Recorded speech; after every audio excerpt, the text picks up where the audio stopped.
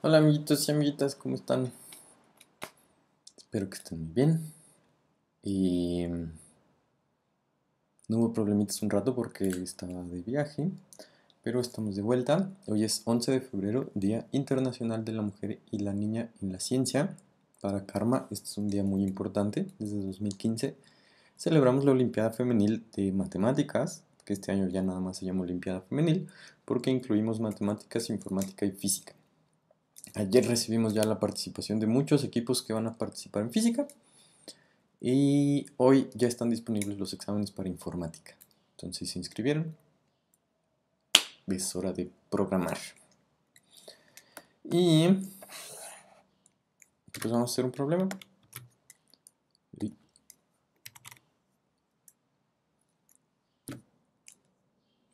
Eh, de hecho vamos a hacer tres problemas. Eh, son tres porque están muy relacionados. Eh, nuestro interés es el problema 11 que aparece aquí, al que hay que corregirle algo pequeño, este de aquí, y ignórenlo. Entonces, estos problemas trabajan con eh, sistemas de ecuaciones eh, simétricos. Es algo, es una idea común. tienes algunas incógnitas y tiene sus sumas por parejas. Entonces cada letra aparece la misma cantidad de veces. En el problema 8 dice que Chocoreta, Chiqui y Dimi fueron a pesarse, no querían ver sus pesos y se pesaron por parejas. Son tres personas, pues hay tres parejas posibles. Y entonces en este caso además te dice exactamente quién con quién. Entonces te dice que Chiqui y Chocoreta pesan 20. pesan 20 que... Ah, me salté uno. Que Dimi y Chocoreta pesan 18 y que Dimi y Chiqui pesan 12. ¿Ok? Son nombres de perritas. Y entonces hay muchas maneras de resolverlo y la que nos interesa revisar es la que tiene que ver con la estrategia en que como es un sistema supersimétrico, lo mismo aparece toda la cantidad de veces, entonces nos conviene sumarlas. En este caso todas aparecen dos veces. Entonces tenemos que dos veces chi más cho más di pues es igual a la suma de todas estas, que son, esto da 30, ¿no? Entonces son 50. Con eso obtenemos que la suma de las tres es 25, y entonces eh, el sistema se puede resolver muy sencillo, porque tenemos las tres y tenemos las sumas por parejas. Entonces cualquiera de las variables que nos falta se puede encontrar restando una de las ecuaciones. Por ejemplo, podríamos encontrar el valor de Dimi si restamos Chiqui y Choco, que sí lo tenemos. ¿Sí? Entonces, problema sencillo. El 9 es un problema parecido solo que incluso la pregunta es distinta. Nos preguntan cuánto pesan los cuatro paquetes juntos. Aquí son cuatro paquetes, no tres. Nuevamente tenemos los pesos por pareja. Como son cuatro, ahora son seis parejas. Pero nos preguntan nada más los cuatro paquetes juntos. Entonces, podríamos volver a hacer esta suma de aquí. Es decir, la, suma que corresponde a todas las parejas posibles. A más B son 5. Este, y de hecho estoy haciendo, estoy suponiendo cosas. A más C son 6. Em, ¿Quién sigue? Estoy suponiendo cosas justo en este último paso, en A más D.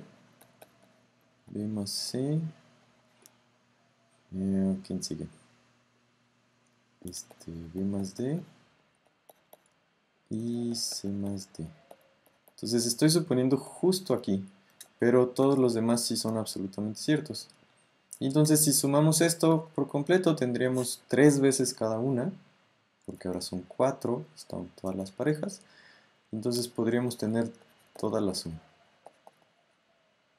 Más D son 50 y... ¿Cuánto? 51.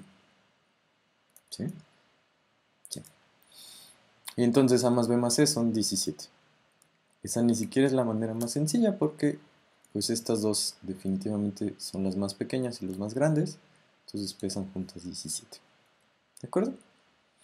Pero, en este caso, resolver este sistema no es súper sencillo. Vaya, se puede, pero no es tan fácil como este. Porque aquí tengo la suma de las 4 y yo tengo las ecuaciones por parejas. Entonces no puedo nada más restar una pareja. Puedo crear un sistema que sea más sencillo. Puedo hacer uno de A más B y A menos B, cosas así. Entonces, nuestro interés el día de hoy es este, el problema 11. Este problema eh, apareció en el octavo examen selectivo de la IMC, rumbo a la IMC en México. Y es exactamente el mismo problema, pero con 5 elementos. Ahora, como son 5 elementos, obtenemos 10 sumas. Y no queremos la suma, que es sencillo, dado que ya sabemos que obtener la suma de todos es fácil con esto que hemos visto. Queremos realmente resolver el sistema, queremos conocer los valores. Y entonces, vamos a aprovecharnos de estas cosas que hemos visto. Primero, la suma es muy sencilla de calcular. Y segundo, como tengo sumas por parejas, y aquí tengo cinco elementos, va a ser, sí va a ser más sencillo resolver el sistema, como pasó acá. ¿Ok? Entonces, lo primero, cada número aparece cuatro veces, porque se combina con cada uno de los otros cuatro para formar parejas. Entonces, cuatro veces A más B más C más D es igual a la suma de todas esas. Voy a poner pausa para hacer la suma en la calculadora y regreso. Entonces, la suma de las 10 cosas, aquí dice que son 19.788 y entonces lo divido entre 4 me queda que A más B más C más D más E, perdón, son 5, es 4947. ¿Sí? Muy bien. Y ahora podemos jugar con las cosas que hicimos ya en otros lugares para ir encontrando valores. Por ejemplo, este definitivamente es los dos más pequeños. Entonces, si asumo que A es menor que B, menor que C, menor que D, menor que E, que se puede hacer sin pérdida de generalidad, entonces este de aquí tiene que ser A más B y este de aquí tiene que ser D más E. Y entonces, si a 4947 1947, le resto 1967 y le resto 1991, pues voy a obtener el valor de E, que es 989. Entonces ya encontramos el primer valor. Los otros dos los vamos a encontrar jugando con estas dos de acá. Entonces, la mayor es definitivamente la suma de las dos más grandes. ¿Quién es la segunda mayor? Entonces, en principio tendremos dos candidatos. La mayor es D más E. ¿Cuál es más grande? C más E o C más D. De alguna de esas tiene que salir la más grande, la segunda más grande. Pero E es más grande que D. Entonces, esta de acá es la segunda más grande. ¿Sí? Entonces, pues con eso ya lo hicimos. Este de aquí es C más C, pero E es 1989, entonces C es, perdón, E es 989, entonces 1989 menos 989 son 1000.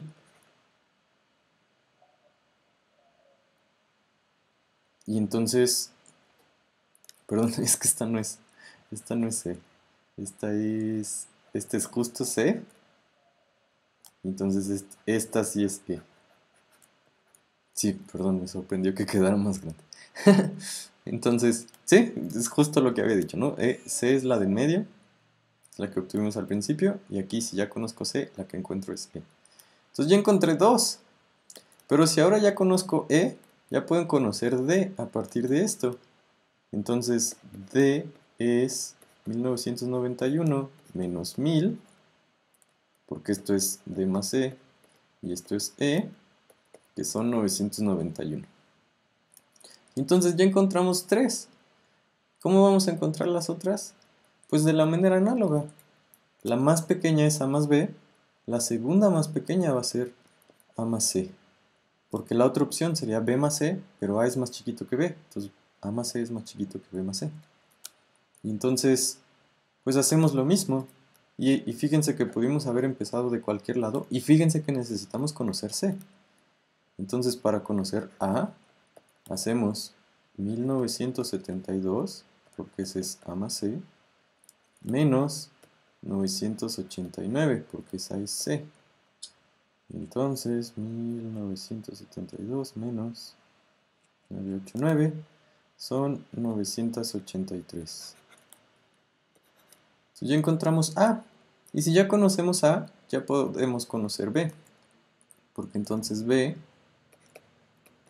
es 1967, que eso es A más B, menos 983, que eso es A. 1967 menos 983, que son 984. ¿Ya está? Ya encontramos los cinco valores. Eh, los valores que están puestos son grandes, entonces hace que esto sea un problema de cálculo trabajosillo, requiere tiempo. Eh, requiere tiempo hacer bien las sumas, hacer bien las restas, pero no es un problema súper exagerado en principio, si nos vamos por las cosas de orden, ¿sale? Las cosas de orden fueron las que nos pudieron salvar. Entonces, suponer sin pérdida de generalidad que nuestros elementos se pueden ordenar para usar lenguaje simbólico y poder hablar de las dos más pequeñas, de las dos más grandes y con algo de trabajo de desigualdades poder decidir cuál tiene que ser la segunda más pequeña y cuál tiene que ser la segunda más grande. La mayoría de las de en medio están en una zona gris, porque depende de la diferencia entre estas, qué tan más grande es la más grande, qué tan más pequeña es, es la más pequeña y cómo están las otras repartidas en medio. ¿Sale? Entonces espero que les haya gustado. Nos vemos con más problemitas del día. Otro día. Si están en la femenil, ya pueden participar. Eh, ya recibimos sus experimentos. Bueno, sus fotos de experimentos de física. Ya está la Olimpiada, ya están los concursos de informática y el viernes empieza el concurso de matemáticas. Entonces, mucha suerte a todas. Feliz Día de la Mujer y la Niña en la Ciencia.